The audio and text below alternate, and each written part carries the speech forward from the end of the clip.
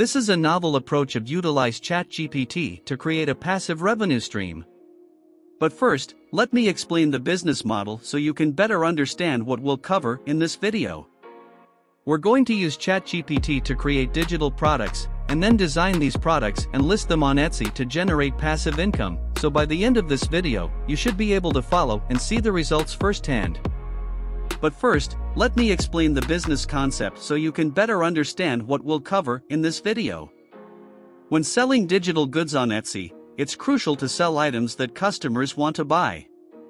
Most importantly, you should always strive to create unique products that stand out from the competition. That's where my research techniques come in.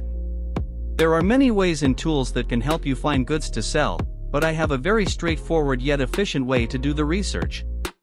But first, you need to have a clear idea of what you want to make, so I asked the chatbot for suggestions.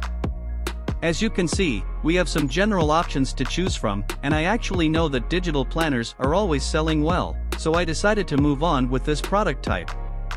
However, I'll go with printable instead of digital. Next, it's time to narrow it down so we get a specific product targeting a particular audience.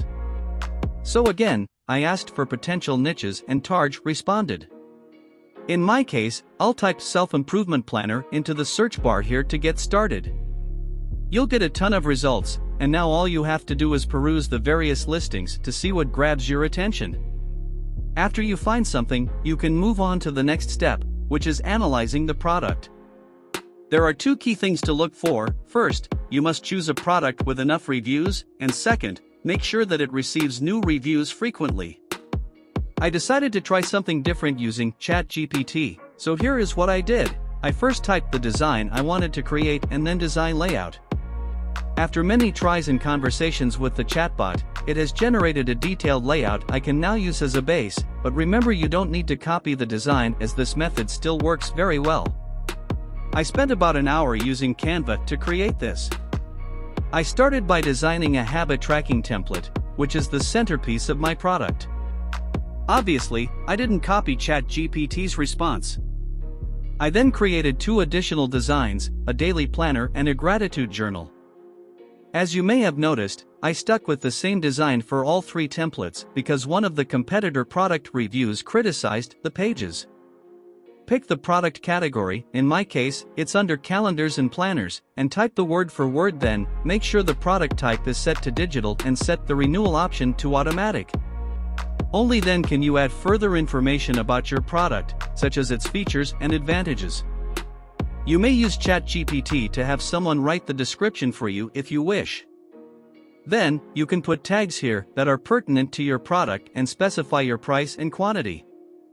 I advise you to set a modest price at first, and as you start making sales, you may raise it, but ultimately the choice is yours to make. You can submit your product here, along with the PDF print file that contains all of the designs. This is what your clients will download after a purchase, so please select Publish. You've now successfully listed your first product, and all you need to do now is consistently list new products on Etsy.